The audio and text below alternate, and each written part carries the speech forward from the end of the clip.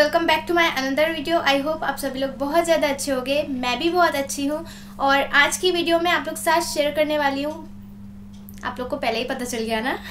Yes yes, आप लोग ने लोग देख के ही समझ लिया होगा कि मैंने कौन सा लुक क्रिएट किया है। यस yes, गंगूबाई काठियावाड़ी है ना? ऐसा या मुझे बिल्कुल परफेक्ट नहीं पता है। बट या मैंने क्रिएट करने की कोशिश की है। मुझे बहुत अच्छा लग रहा है। आप लोग को पसंद आ गया तो तो फिर बात ही कुछ और है। सो so, कैसा लग रहा है? कमेंट करके बताओ। मैं बहुत ज़्यादा खुश हूँ। कैसा लग रहा है? सबसे पहले कमेंट करो। और वीडियो को एंड तक देखना। प्लीज़ अगर वीडियो पसंद आए ना तो लाइक शेयर कमेंट ज़रूर करके जाना यार। बहुत मेहनत से करती हूँ यार प्लीज़ सो so, वीडियो में बढ़ते हैं। पर guys if you like my content so please do subscribe my channel यार। प्लीज़ सब्सक्राइब कर दिया करो। Now without any waste of time let get started so so guys मैंने वीडियो वॉइस ओवर कर दी है। मैं यहाँ पे यूज़ कर रही हूँ लॉरियल का क्रिस्टल रिवाइटलिस्ट ये सीरम है टोनर है, जो भी ये है, मुझे नहीं पता क्योंकि मैं इसको फ़र्स्ट टाइम यूज़ कर रही थी। बहुत मिनी वाली पैकेजिंग है इसकी मैं इसे ट्राई करूँ। और ये मुझे ब्रांड ने भेजी थी बाय द वे ये है स्टेक वर्की का प्राइमर ऑयल ये मेरे पास ना दो बॉटल्स हो गई हैं। एक तो मैंने खुद परचेज़ की थी, मैंने सोचा था यार न्यू प्रोडक्ट है प्राइमर ऑयल क्या होता है? क्योंकि मैंने प्राइमर प्राइमर भी यूज़ किया हुआ है, ऑयल भी यूज़ किया हुआ है। प्राइमर ऑयल नहीं यूज़ किया था तो मैंने इसलिए मंगाया। ये है सी जी जी कॉस्मेटिक की three in one water gel.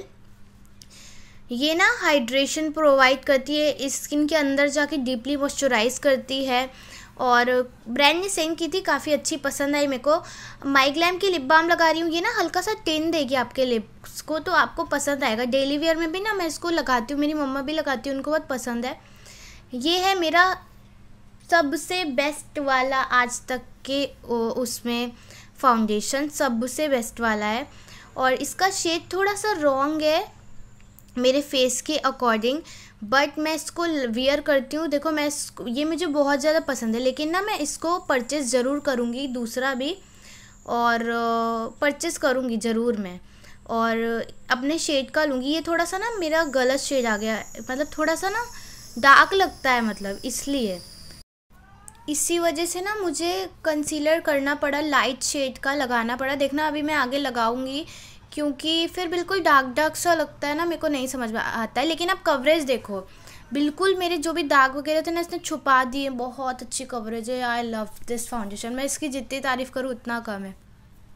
ये है मियोन का ऑयल कंट्रोल कंसीलर कंसीलर इसमें मेरा शेड है ज़ीरो वन ये ना बहुत लाइट है मेरे स्किन से। तो मैं इसको एज ए कंसीलर लगाऊँगी जहाँ जहाँ पे नीड होती है। और देखो, अब थोड़ा सा लाइट हो गया। बट क्या होता है ना, ये एट देन सेट हो जाता है ना तो बिल्कुल परफेक्ट आता है। लेकिन अब देखो कंसीलर बहुत अच्छा है फाउंडेशन बहुत अच्छा है।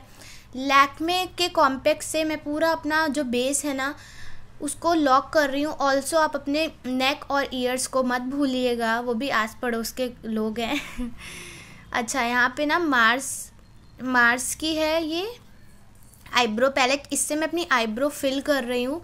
और ये गंगू बाई वाला लुक है सो एट देन तो बहुत अच्छा लुक क्रिएट हुआ था। फिर मैं ये ले रही हूँ इनसाइड कॉस्मेटिक का काजल, ये भी इतना अच्छा है ना, इतने कम पैसों मतलब अफोर्डेबल प्राइस में आपको इतना अच्छा ब्लैकेस्ट ब्लैक चलता है यू कैन सी गाइज़ मैं ये काजल की ना जितनी, मैं फ़ैन हो गई हूँ, आप देख सकते हो इतना अच्छा काजल है।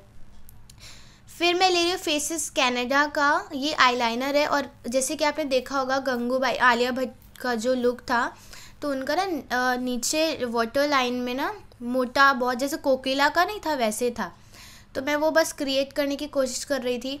फिर मैं मार्स वाली आईब्रो पैलेट से ना ब्लैक कलर लेके जस्ट उसमें प्लेस कर रही थी ताकि वाटर प्रूफ हो जाए और थोड़ा सा स्मज वाला लुक लगे, क्योंकि उनका ना थोड़ा सा स्मज स्मज सा लग रहा था। जस्ट मैं प्लेस करके हल्का सा स्मच कर रही हूँ, आँखों से बहुत आँसू आ रहे थे।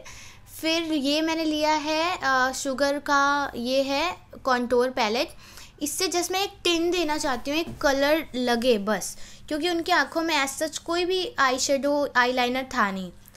ठीक है सो जस्ट मैंने उसको किया कलर को, उसके बाद मैं अपनी आई लैशेस कर्ल कर रही हूँ, क्योंकि बहुत इंपॉर्टेंट स्टेप है, क्योंकि मैं कोई भी फॉल्सीस नहीं अप्लाई करूँगी, ना उन्होंने की हुई थी। तो हम कोई अच्छा सा मस्कारा लगाएँगे सो so ये है पर्पल का one of the best mascara बहुत अच्छा मस्कारा है। ब्रांड ने खुद सेंड किया था। थैंक यू फॉर मतलब क्या बोलूँ? Thank you for this mascara क्या बोलूँ? जो भी बोलूँगी, पर मैं क्या ही बोलूँ? बहुत अच्छे प्रोडक्ट्स भेजे थे इन्होंने मुझे, सच में। फिर मैं कॉन्टोर करूँगी वही शुगर वाली पैलेट से।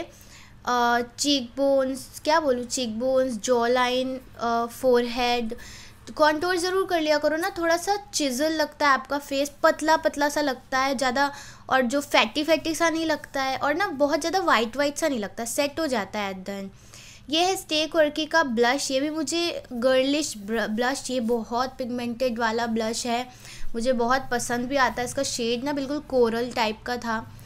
मुझे देखो ऐसा कुछ लग नहीं रहा था उन आलिया भट्ट के चीक्स में बस ब्लश दिख रहा था, ठीक है? वो भी थोड़ा ज़्यादा ही दिख रहा था। पर ना, मैंने सोचा क्यों ना मैं थोड़ा सा कॉन्टोर कर लेती हूँ। फिर है ये मार्स का हाइलाइटर ये हल्का सा नेचुरल वाला हल्का हल्का ग्लो देता है।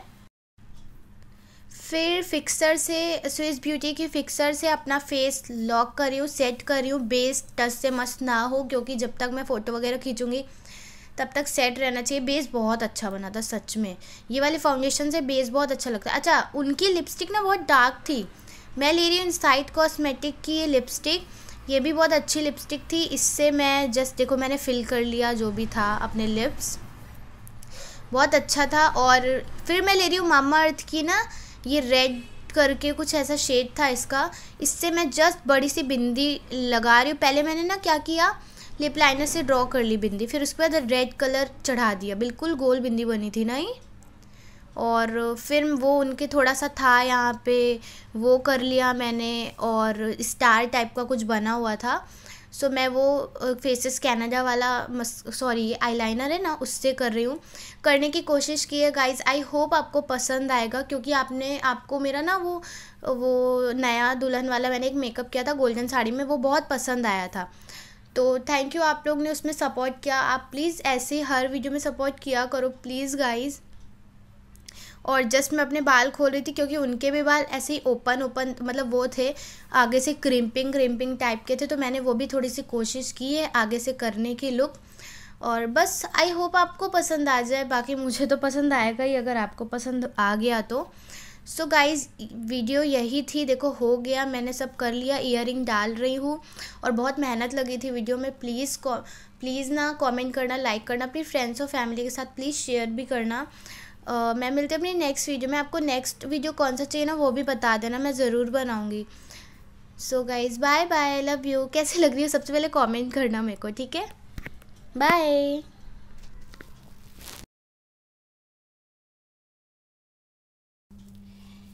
guys this is my final look final look हो चुका है और आपको कैसा लग रहा है कमेंट करके बताओ। अंदर से मैं बहुत ज़्यादा हैप्पी हूँ। जैसे कि आपको मैं अपनी हर वीडियो में बताती हूँ कि मैं कोई वीडियो लुक क्रिएट करती हूँ ना और एट द एंड वो अच्छा होता है तो मुझे बहुत ज़्यादा खुशी मिलती है। और आई होप ये वाला लुक भी आप लोगों को पसंद आए। आप लोगों को पसंद आएगा तो मुझे तो पसंद आएगा ही ना गाइज़ सो so, क्या मैं मिलती हूँ अपनी नेक्स्ट वीडियो में? आप लोग को नेक्स्ट वीडियो कौन से टॉपिक में चाहिए कॉमेंट करके बताओ। तो मैं मिलती हूँ अपनी नेक्स्ट वीडियो में। तब तक लिए बाय बाय लव यू